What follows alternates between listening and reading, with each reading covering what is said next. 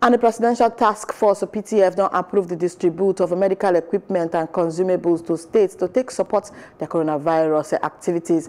Boss Mustapha will be the secretary to the government for the Federation and the PTF chairman for COVID-19. He opened this yarn for the PTF daily briefing for COVID-19 inside Wiobodo on Tuesday for Abuja.